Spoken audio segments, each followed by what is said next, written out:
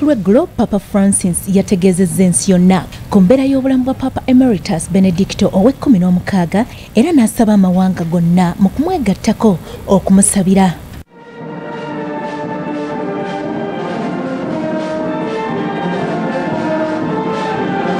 papa benedicto kati atemera mu gy'obukulu 95 era yafuuka papa eyasooka okulekulira ng'awummudde emirimu ng'ennaku z'omwezi 28 omwezi ogwokubiri mu mwaka gwa 2013 bw'atyo n'alekulira. Ono ye yasooka okulekulira obwa papa oluvannyuma lw'emyaka lukaaga. Chiedere a tutti voi una preghiera speciale.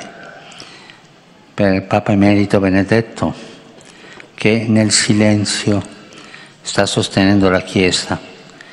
Ricordarlo è molto ammalato, chiedendo al Signore lo console e lo sostenga in questa testimonianza di amore alla Chiesa fino alla fine.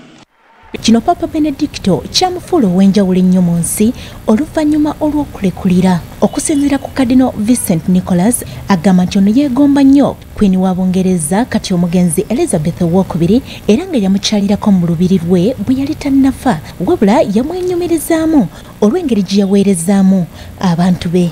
Okusinziira ku bakulira enzikiriza y'abakatuliki e vatican embeera ya emeritus benedicto ow'ekkumi n'omukaaga yeeraliikiriza nga bakyesigamiza ku bukadde mu myaka. The most learned men in the world, deeply familiar with uh, all world religions as well as his own Catholic faith. vatican erina obulombolombo n'emitendera egirina okugobererwa singa papa benedicto ow'ekkumi n'omukaaga ava mu bulamu bw'ensi eno wabula nga tebinnafulumizibwa ekitegeeza nti enkuyege zikyamukubira enduulu abantu ab'enjawulo omuli ne bannamawulire balabiddwako ku kanisa ya st peters square mu kibuga vatican oluvannyuma lw'okufuna amawulire ag'embeera ya papa benedicto ow'ekkumi n'omukaaga. Kale bwe tweyongerayo mu kanyomero kaffe ak'obulimi n'obulunzi